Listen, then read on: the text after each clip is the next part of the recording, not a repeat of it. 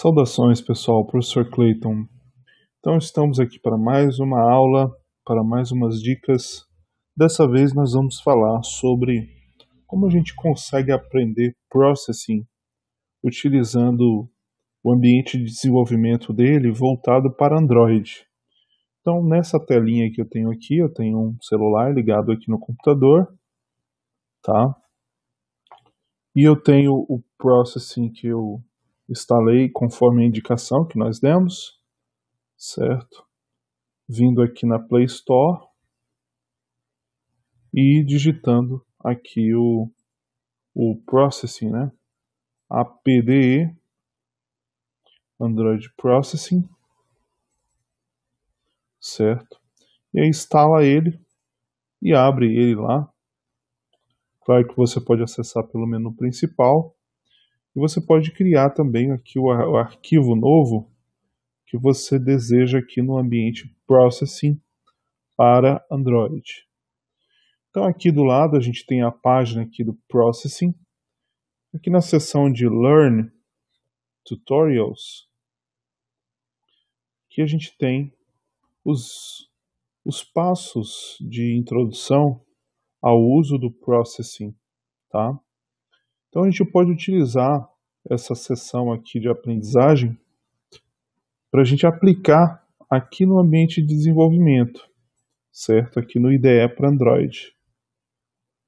Então, como a gente vai mostrar aqui, por exemplo, a gente vindo aqui no Get Started, Get Started, a gente localiza aqui o conteúdo que a gente deseja estudar, pede para traduzir aqui no, no Chrome, certo? Aqui ele não está pedindo, não está me deixando traduzir, mas eu acredito que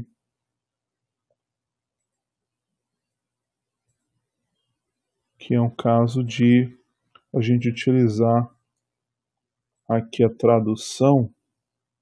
Vamos aqui na ferramenta de tradução.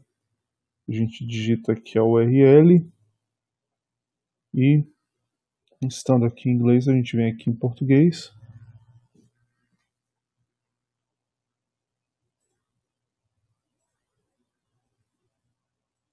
Pronto, agora ele passou a oferecer aqui a opção de tradução, a gente traduz.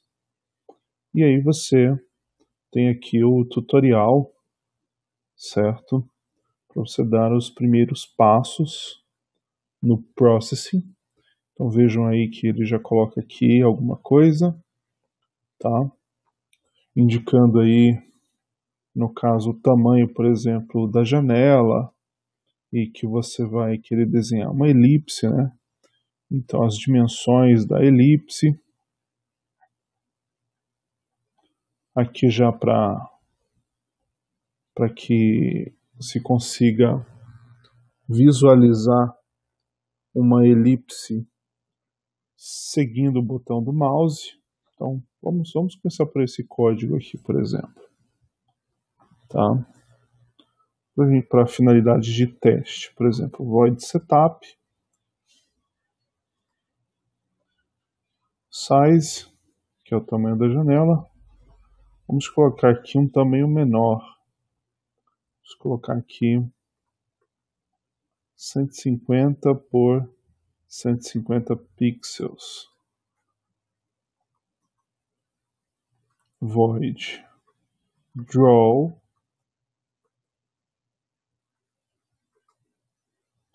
Uma vez que esse código aqui é para desktop, tá? Esse outro aqui já é para o Android. Então vamos ver se funciona o código, tá? Então aqui a gente está preenchendo, caso o mouse seja pressionado, se não, preencha com essa outra cor. Então, a gente declara aqui elipse as posições do mouse na tela. Podemos colocar aqui, por exemplo, 30, 30. Ok. Vamos dar uma reconferida no código.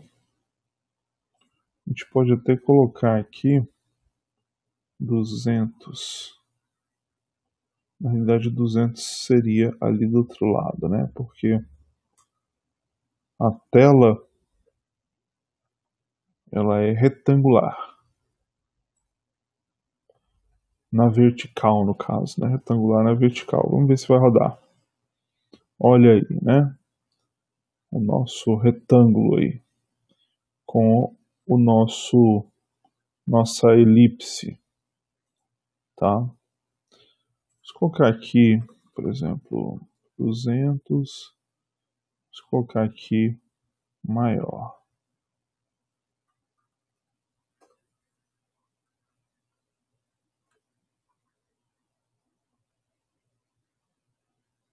Aqui talvez fique grande demais. Vamos colocar 80 e 80.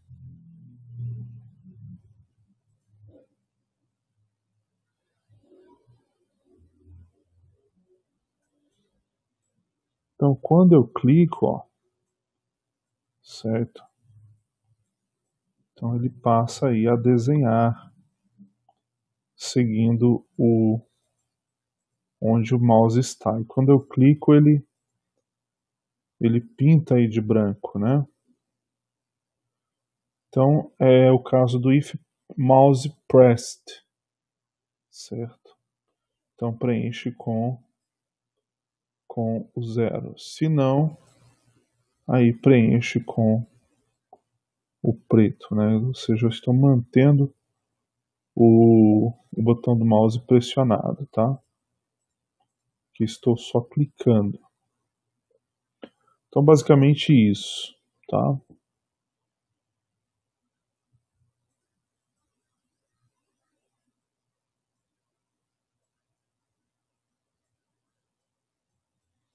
Na realidade, o branco é o 255, né? Porque preto significa ausência de cor, né? Então, mouse pressed, nesse caso aqui, é como se a gente tivesse pressionando a tela, pressionando o display do, do celular. Quando eu clico e solto, aí ele vai preencher aqui com fio 255, certo? Então tá aí o nosso preview. Além disso, eu posso criar um aplicativo mesmo. Então, por exemplo, se eu vim aqui um, depois da opção preview, aqui na opção app, certo? E clico aqui em executar.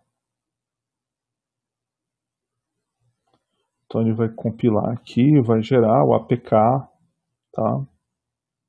Olha lá, ó. deseja instalar este app, olha aí o, o sketch, certo? Que eu nem tinha salvo, né? Mas eu já posso instalar aqui como um aplicativo Android. E olha lá, ó. certo? Mouse pressed e mantenho a pressão e aí vou arrastando. Tá? E vai acontecendo isso aí, esse preenchimento com preto. Ok? Cliquei e soltei. Então isso significa que o mouse não está sendo continuamente pressionado. Cliquei e soltei. E aí preenche de branco. Certo? Com o que? Com a elipse que é o código logo em seguida.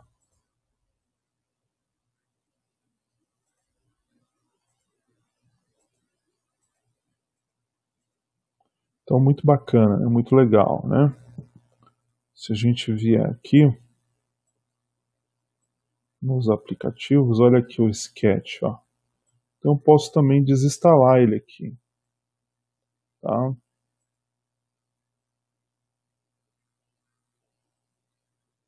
Então, muito fácil, né, da gente criar uma aplicação aqui utilizando esta pequena IDE do processing, ok, somente utilizando aqui esses códigos e clicando aqui no preview ou no app, tá? Então, continuando aqui, a gente pode explorar um pouco mais de código e ver se tem mais alguma coisa interessante. Vamos voltar aqui na sessão anterior.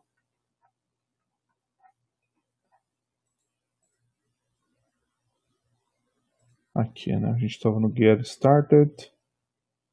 A gente pode ir aqui também. Tutorials. Tá aqui começando, visão geral do processing. No caso está traduzido aqui como processamento. Tá? Vamos aqui para alguma coisa 3D, por exemplo. Vamos ver se ele consegue renderizar para nós em 3D alguma coisa.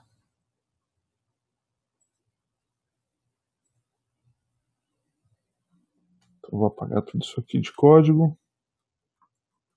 Void setup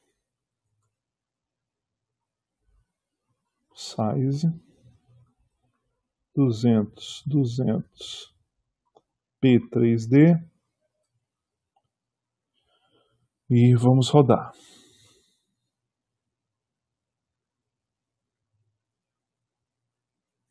Como preview está aí.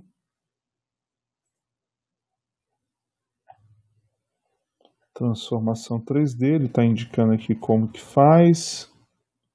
E vamos digitar o código, certo? Então aqui o x recebe a largura dividido por 2, y igual a altura, 8 dividido por 2, e z recebe 0. Void. Draw.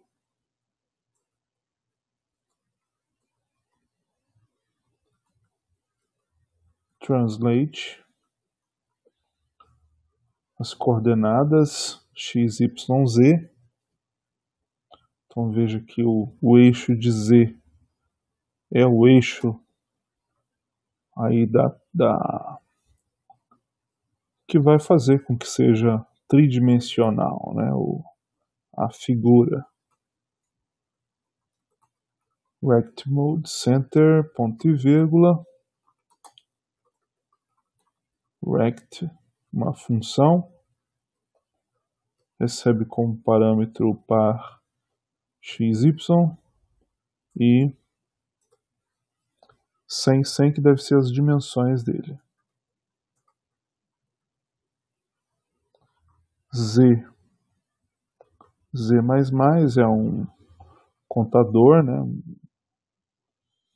Então ele diz aí que o retângulo se move para frente com o incremento de Z. Vamos ver se vai rodar. Alguma coisa deu errado, vamos ver. Sete problemas encontrados.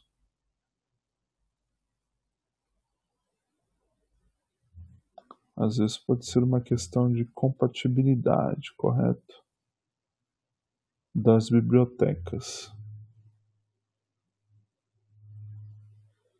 Vamos reconferir aqui. Size 200, 200.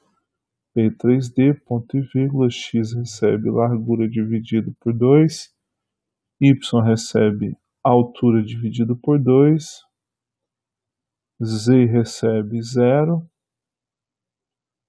draw,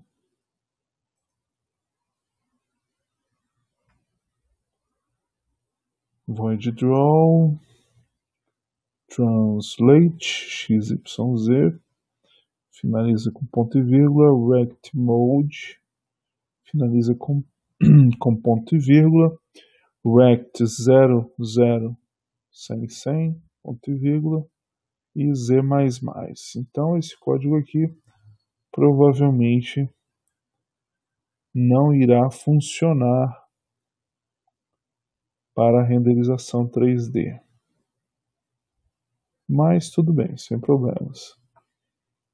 Provavelmente haverão outros códigos que irão funcionar. De repente, se a gente diminuir, vamos tentar diminuir aqui 150, largura, altura 180, só para a gente ter uma noção se vai rodar.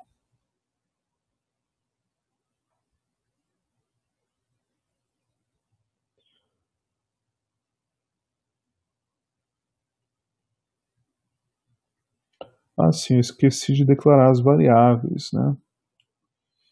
É float x, y e z.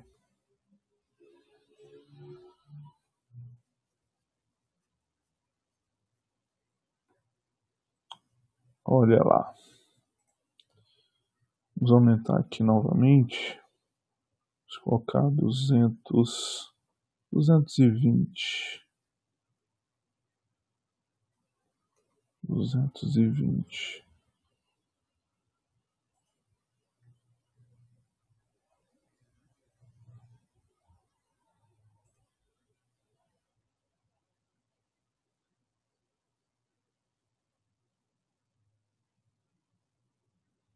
Então é isso. Vamos avançar um pouco mais aqui.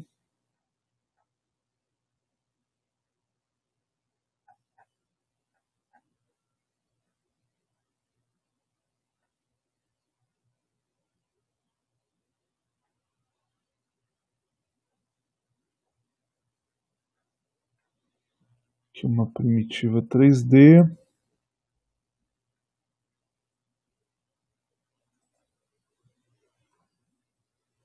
Vamos ver se eu acho ela aqui. Só a gente para a gente copiar o exemplo para tornar a coisa mais prática.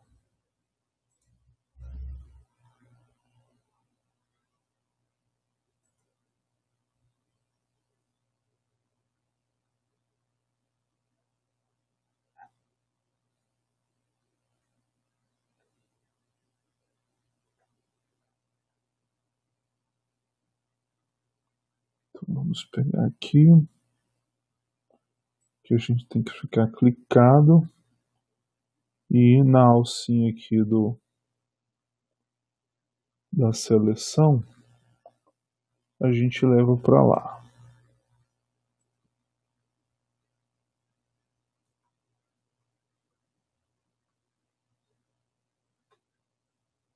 Vamos colar aqui.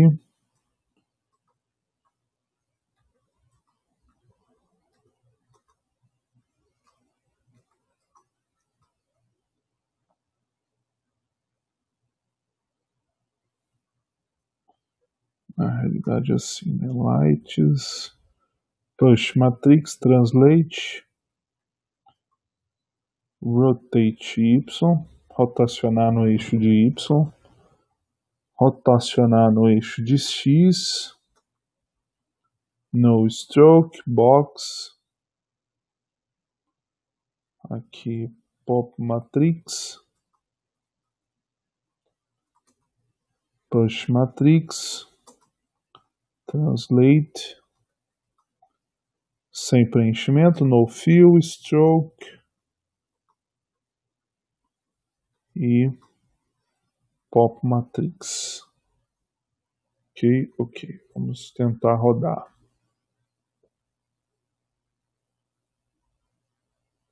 Olha aí que bacana, né? Então tá aqui, ó, igualzinho. E aí a gente vai descobrindo, né? Quando a gente lê aqui o, as indicações, no exemplo acima, observe que as funções box e sphere, cada uma leva apenas um argumento, tamanho, essas formas 3D não podem ser posicionadas por meio de argumentos. Em vez disso, deve usar os métodos translate e rotate, e assim sucessivamente. Vamos ver se ele desenha esse triângulo aqui. Então vou tirar esse código daqui. Vamos voltar lá para o navegador e encontrar o respectivo código.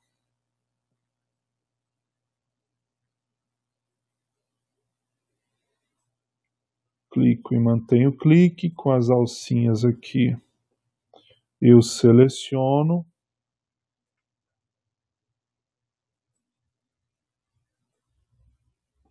copiar e vamos colar aqui. Eu vou rodar assim mesmo, mas aí a indentação é importante. Só para fins da gente verificar o funcionamento. Olha lá que bacana. Certo? Então, além, além disso, para além disso, a gente pode, por exemplo, utilizar os exemplos que, que existem aqui no próprio ambiente de desenvolvimento. Por exemplo, aqui em Topics. Então, vem aqui, por exemplo, exemplos, Topics. Por exemplo, aqui em Graphic User Interface, GUI, nós temos aqui exemplos com botões. Então, buttons. Vamos executar o preview. E olha lá. Então vejam que quando eu clico numa forma dessa, o código que tem é para que as cores, ao depender da forma que eu clico, um, as cores mudem. Tá?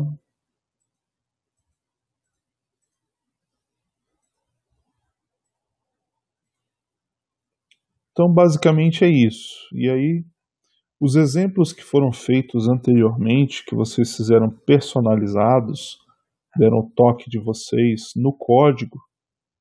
Então, eu gostaria que vocês uh, praticassem aqui dentro do ambiente de desenvolvimento já para mobile, tá? para Android. Então é isso por hoje, pessoal. Até lá!